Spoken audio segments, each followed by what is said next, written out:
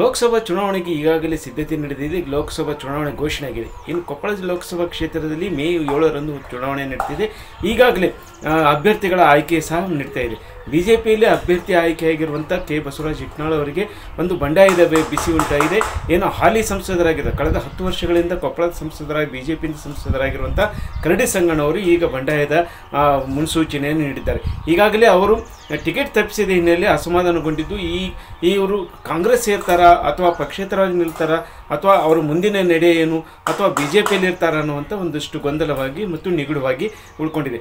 ಕರಡಿ ಸಂಗಣ್ಣವರು ಹೇಳುವ ಪ್ರಕಾರ, ನಾನು ಕಾಂಗ್ರೆಸ್ಗೆ ಹೋಗುವುದಿಲ್ಲ, ಆದರೆ ಕಾಂಗ್ರೆಸ್ಸಿಗೆ ಭಾಳಷ್ಟು ಜನ ಸಂಪರ್ಕದಲ್ಲಿದ್ದಾರೆ ಅಂತ ಏನು ಕಾಂಗ್ರೆಸ್ಸಿನ ಹಿರಿಯ ಮುಖಂಡರು ಸಹ ಜೊತೆಗೆ ಉಪಮುಖ್ಯಮಂತ್ರಿಯಾದ ಡಿ ಕೆ ಶಿವಕುಮಾರ್ ಅಂತ ಹಿಡಿದು ಎಲ್ಲರೂ.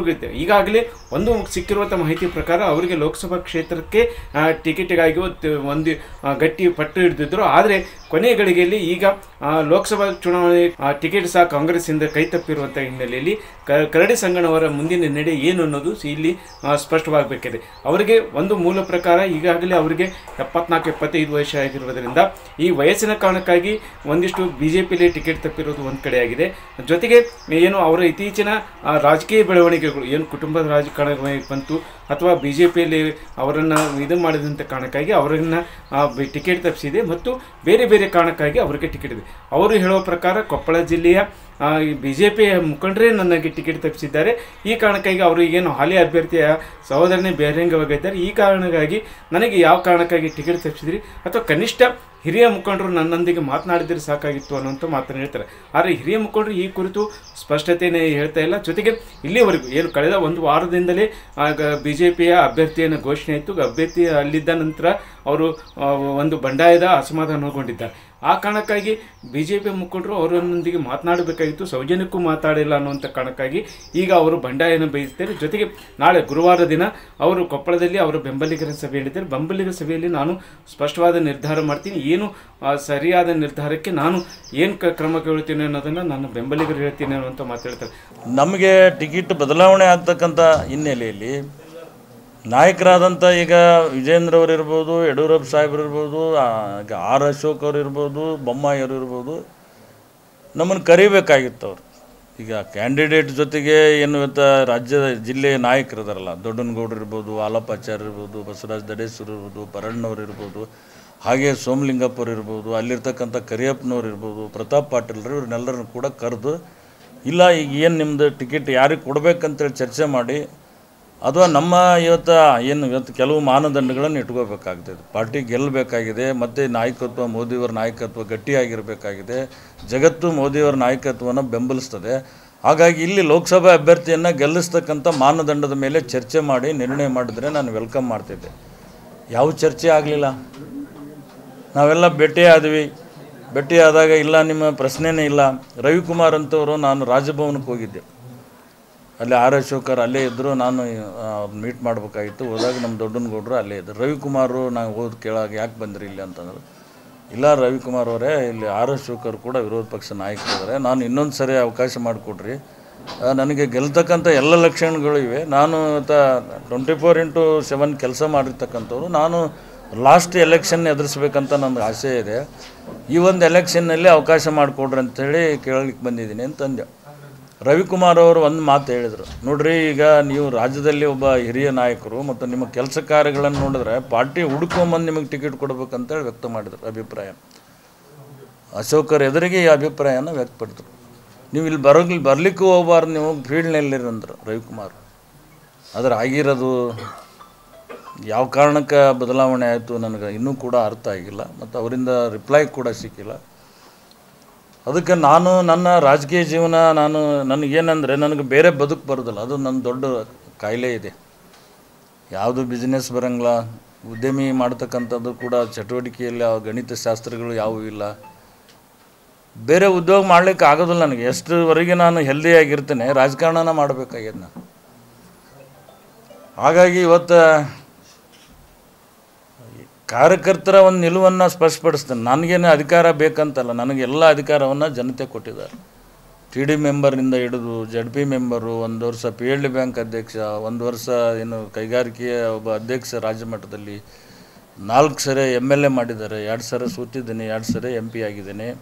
ಎಲ್ಲ ಇವತ್ತು ಅವಕಾಶಗಳು, ಪಕ್ಷ ಇವತ್ತು, ಭಾರತೀಯ ಜನತಾ ಪಕ್ಷ ಎರಡು ಸರಿ ನನಗೆ ಪಾರ್ಲಿಮೆಂಟ್ ಇವತ್ತು ಅಭ್ಯರ್ಥಿ ಆಗಲಿಕ್ಕೆ ಮೆಂಬರ್ ಆಗಲಿಕ್ಕೆ ಸರ್ವಿಸ್ ಕೊಡಲಿಕ್ಕೆ ಆಶೀರ್ವಾದ ಮಾಡಿದೆ. ಮೋದಿಯವರಿಗೆ ನಾನು ಋಣಿಯಾಗಿದ್ದೇನೆ. ಭಾರತೀಯ ಜನತಾ ಪಕ್ಷ ಕೂಡ ನಾನು ಋಣಿಯಾಗಿದ್ದೇನೆ. ಆದರೆ ಇವ್ರ ನಡವಳಿಕೆ ಈಗ ನನಗೆ ಹರ್ಟ್ ಮಾಡಿದೆ. ಈ ಹರ್ಟ್ ಆಗಿರೋದ್ರಿಂದ ಕೆಲವು ಈಗ ಇಲ್ಲಿರ್ತಕ್ಕಂಥ ನಮ್ಮ ಮುಖಂಡರು, ಪಾರ್ಟಿಯಲ್ಲಿರ್ತಕ್ಕಂಥ ಜಿಲ್ಲೆಯ ಮುಖಂಡರು ಒಂದು ಲಾಬಿಯನ್ನು ಮಾಡಿದರು. ಕರಡಿ ಸಂಗಣ್ಣ ಅವರಿಗೆ ಯಾವುದೇ ಕಾರಣಕ್ಕೆ ಟಿಕೆಟ್ ಕೊಡಬಾರ್ದು. ಲಾಬಿ ಮಾಡಲಿ ಅವ್ರಿಗೆ ಅವ್ರ ಅಭಿಪ್ರಾಯ ಹೇಳಿ ಅವ್ರದ್ದೇನು, ಎಲ್ಲರಿಗೂ ಸ್ವಾತಂತ್ರ್ಯ ಇದೆ. ಅವರು ಅಭಿಪ್ರಾಯ ಹೇಳಿದ ನಂತರ, ಅಥವಾ ಇವರು ನಮ್ಮನ್ನೆಲ್ಲ ಕರೆಸ್ಕೊಂಡು, ಏನೋ ಇದು ಗೊಂದಲ ಇದ್ದಂಗೆ ಐತೆ ಏನು ಏನು ಮಾಡಬೇಕು? ಅಂತ ಒಂದು ನಿರ್ಣಯ ಮಾಡಿದರೆ ನಾವೆಲ್ಲ ಕೂಡ ಒಪ್ಕೊಳ್ತಿದ್ವಿ. ಆದರೆ ನಮ್ಮ ಧಿಕ್ಕರಿಸಿ ಇವತ್ತು ಟಿಕೆಟನ್ನು ಕೊಟ್ಟಿದ್ದಾರೆ. ಅಂದರೆ ಲೆಕ್ಕಕ್ಕಿಲ್ಲಪ್ಪ ಕರಡಿ ಸಂಗಣ್ಣ ಅಂಥೇಳಿ ಮತ್ತು ಅವರು ಇವತ್ತು ಒಂದು ಮಾನದಂಡ, ಗೆಲುವಿನ ಮಾನದಂಡ ಇಟ್ಕೊಂಡು ಇವತ್ತು ರಾಜ್ಯದ ನಾಯ, ಜಿಲ್ಲೆಯ ನಾಯಕರ ಅಭಿಪ್ರಾಯ ಮೇಲೆ ಕೊಟ್ಟಿದ್ದಾರೆ. ಅಂದರೆ ಕ್ಯಾಂಡಿಡೇಟ್ಗೆ ಇವತ್ತು ಒಳ್ಳೆಯದಾಗಲಿ ಅಂತ ಕೂಡ ನಾನು ಬಯಸ್ತೀನಿ.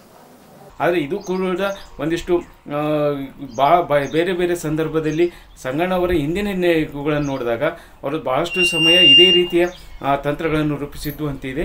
ಆದರೆ ಈಗ ಸಂಗಣ್ಣವರ ಒಂದು ರಾಜಕೀಯ ಭವಿಷ್ಯಕ್ಕಾಗಿ ಅಥವಾ ತಮ್ಮ ಕುಟುಂಬಕ್ಕೆ ರಾಜಕಾರಣಕ್ಕಾಗಿ ಈಗ ಬೇರೆ ಒಂದು ಅನಿವಾರ್ಯವಾಗಿ ಬೇರೆ ಸಂದರ್ಭದಲ್ಲಿ ಅವ್ರಿಗೂ ಈಗ ಇವ್ನ ಕ ಹುಡುಕಲೇಬೇಕಾದಂಥ ಅನಿವಾರ್ಯತೆ ಇದೆ.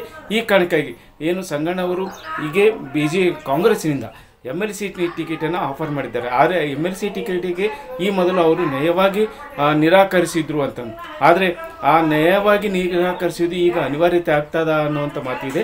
ಜೊತೆಗೆ ಏನು ಕಾಂಗ್ರೆಸ್ಸಿನ ಮುಖಂಡರಾಗಿರುವಂಥ ಲಕ್ಷ್ಮಣ ಸವದಿ ಆಗಿರ್ಬೋದು, ಕೊಪ್ಪಳ ಜಿಲ್ಲೆಯ ಬಹುತೇಕ ಕಾಂಗ್ರೆಸ್ ಮುಖಂಡರು, ಸಂಗಣ್ಣವರು ಕಾಂಗ್ರೆಸ್ಸಿಗೆ ಬರಲಿ ಅನ್ನುವಂಥ ವಾರ್ತೆ ಇದೆ. ನನಗೆ ಈಗ ಕರ್ಟಸಿ ಕಾಲ್ ಮಾಡ್ರಂತ ಮೊನ್ನೆ ಕೂಡ ಹೇಳಿದ್ದೀನಿ ನಾನು. ತಂಗಡಿಗೆಯವರು ಮಾತಾಡಿದ್ದಾರೆ.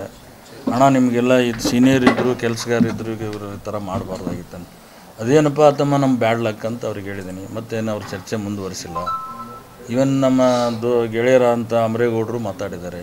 ಅವರು ಕೂಡ ಇದೇ ಮಾತನ್ನು ವ್ಯಕ್ತಪಡಿಸಿದರು. ಇದು ಯಾವ ಮಾನದಂಡ ಮೇಲೆ ಕೊಟ್ರಪ್ಪ ನಿಮ್ಮವರು? ಏನು ಇಂಥ ಹಿರಿತನಕ್ಕೆ ಗೌರವ ಇಲ್ಲ ನನಗೆ ಆಯ್ತಲ್ಲ ಅಂತೇಳಿ ನನ್ನ ವ್ಯಕ್ತಿಗತವಾದ ಮಾತನ್ನು ಅವರ ಅಭಿಪ್ರಾಯ ಹೇಳಿದರು. ಅವೆಲ್ಲ ನಡೀತಿರ್ತಕ್ಕಂಥದ್ದು ನಿಮಗೂ ಗೊತ್ತಿದೆ. ರಾಜಕಾರಣದಲ್ಲಿ ಏನೆಲ್ಲ ಬದಲಾವಣೆ ಆಗ್ತವೆ? ಲಕ್ಷ್ಮಣ ಸವದಿಯವರು ನನಗೇನು ಬಿ ಜೆ ಪಿ ಕರ್ಕೊಂಬಂದಂಥ ನಾಯಕ ಅವರು ಕೂಡ ಮಾತಾಡಿದ್ದಾರೆ.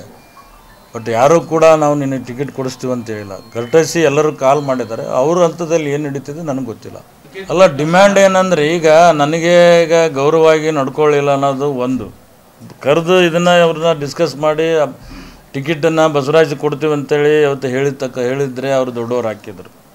ಎಲ್ಲದನ್ನು ಮುಚ್ಚಿಟ್ರು ಅವರು. ಮುಚ್ಚಿಟ್ಟು ಇವತ್ತು ದಿಢೀರ್ನ ನಿರ್ಣಯ ಮಾಡಿದ್ದಾರೆ. ನಿರ್ಣಯ ಮಾಡಿದ ಮೇಲೆ ನಾವು ಅವ್ರಿಗೆ ಇನ್ನು ಇಷ್ಟೇ ಕೇಳೋದು, ಈಗ ನಮಗೆ ಲೀಡರ್ಶಿಪ್ ಬೇಡ. ನೀವು ಯಾರಿಗಾರು ಕೊಡ್ರಿ, ಜಿಲ್ಲಾದಲ್ಲಿ ನಮ್ಮ ದೊಡ್ಡನಗೌಡ್ರು ಇದ್ದಾರೆ ಆಲಪ್ಪರು ಇದ್ದಾರೆ ಮಾಜಿ ಮಂತ್ರಿಗಳು, ಅಂಥವ್ರ ನಾಯಕತ್ವದಲ್ಲಿ ಅವ್ರು ಮಾಡಲಿ, ನಾವು ಅವ್ರ ಹಿಂದಿರ್ತೇವೆ. ಈ ಕುರಿತು ಏನು ಫೆಬ್ರವರಿ ನಾಳೆ ಗುರುವಾರ ದಿನ ನಡೆಯುವಂಥ ಅವರ ಬೆಂಬಲಿಗರ ಸಭೆಯಲ್ಲಿ ಎಲ್ಲವೂ ನಿರ್ಧಾರ ಆಗ್ತದೆ. ಅದಕ್ಕಾಗಿ ಏನು ಬಿ ಜೆ ಪಿಯಲ್ಲಂತೂ ಕಾಂಗ್ರೆಸ್ ಏನು ಸಂಗಣ್ಣ ಕರಡಿ ಅವರು ಒಂದು ಬಿಸಿ ತುಪ್ಪವಾಗಿದ್ದಾರೆ ಅವರು ಒಂದೇಳೆ ಬಿ ಜೆ ಪಿಯಿಂದ ಹೊರಗೆ ಹೋದರೆ ಒಂದಿಷ್ಟು ಹಾಲಿ ಅಭ್ಯರ್ಥಿಗೆ, ಯಾಕಂದ್ರೆ ಹೊಸಬರಾಗಿರುವಂಥ ಹಾಲಿ ಅಭ್ಯರ್ಥಿಗೆ ಕೈ, ಟಿಕೆಟ್ ಕೈ ತಪ್ಪುವ, ಏನು ಮತಗಳ ಕೈ ತಪ್ಪುವಂಥ ಎಲ್ಲ ಸಾಧ್ಯತೆಗಳಿದೆ. ಈ ನಿಟ್ಟಿನಲ್ಲಿ ಸಂಗಣ್ಣ ಅವರ ನಡೆ ಬಹಳಷ್ಟು ವಿಶೇಷವಾಗಿದೆ. ಈ ಕುರಿತು ಜಿಲ್ಲೆಯಲ್ಲಿ ವ್ಯಾಪಕ ಚರ್ಚೆ ಆಗ್ತಿದೆ ಸಂಗಣ್ಣ ಅವರಿಗೆ ಟಿಕೆಟ್ ತಪ್ಪಿರೋದು ಒಂದು ಕಡೆ ಆಗಿದ್ದರೆ ಸಂಗಣ್ಣ ಅವರ ಮುಂದಿನ ನಡೆ ಏನು ಅನ್ನೋದು ಸಹ ಕುತೂಹಲ ಮೂಡಿಸಿದೆ. ಈ ಕುರಿತು ನಾಳೆಗೆ ಗುರುವಾರ ದಿನ ಸ್ಪಷ್ಟವಾಗ್ತಿದೆ. ಒಂದು ಮೂಲದ ಪ್ರಕಾರ ಸಂಗಣ್ಣವರು ಬಹುತೇಕ ಈಗಾಗಲೇ ಕಾಂಗ್ರೆಸ್ ಸಂಪರ್ಕದಲ್ಲಿದ್ದಾರೆ. ಕಾಂಗ್ರೆಸ್ ಸೇರ್ತಾರ ಅನ್ನುವಂಥ ಮಾತಿದೆ. ಅದು ಎಲ್ಲದಕ್ಕೂ ನಾಳೆ ಸ್ಪಷ್ಟವಾದ ನಿರ್ದೇಶನ ಸಿಗಲಿದೆ. Sharanappa news eighteen Koppal